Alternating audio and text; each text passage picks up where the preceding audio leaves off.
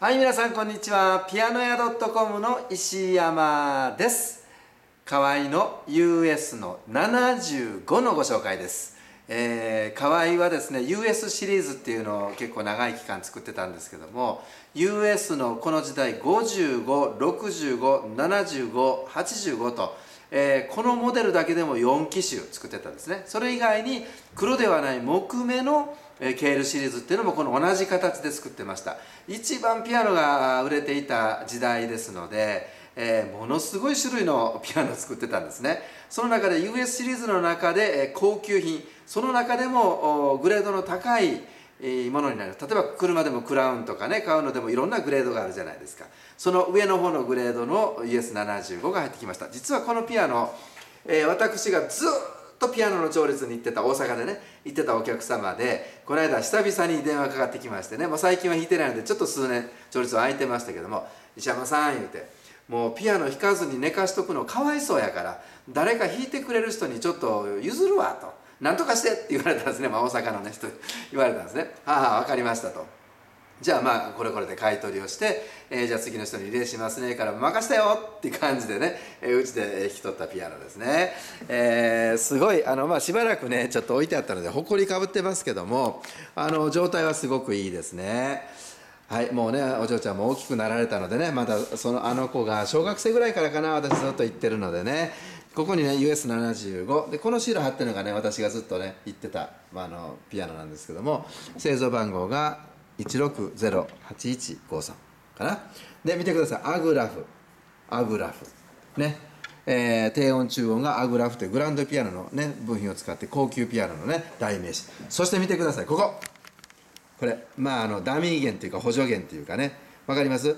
これね実際ねダンパーもついてこれここね。ダンパーもついてちゃんと、えー、実際に音出ないんですよこれ。音が出ない。一番最低音はこの音は3つ目のこの音が最低音なんでこの音か。この音が最低音。その横にさらに補助の弦が入ってこれは、えー、フレームのねピッチの安定させるためとかいろんな、えー、倍音を出すとかいろんな要因があるんですけどめちゃくちゃ贅沢な。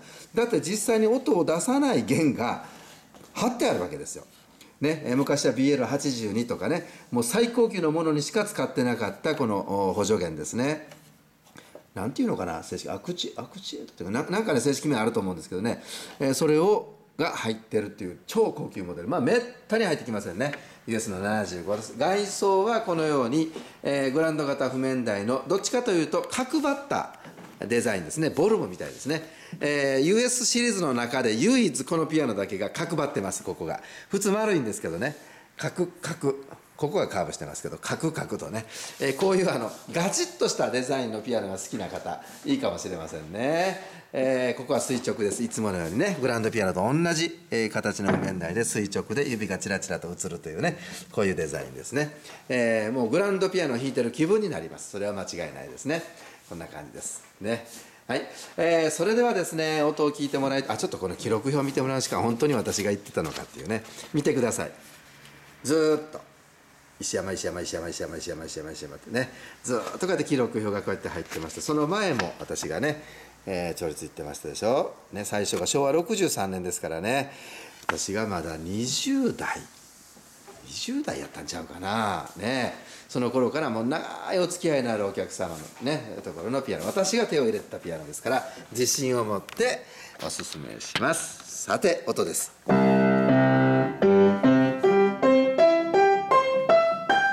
結構ね私調律うまいんですよ。だってねえー、平成18年から調律してないんですよ。平成18年から。7年間調律してないんですよ。その割には綺麗でしょ。そんな狂ってない。結構私の調律長持ちするんですよ。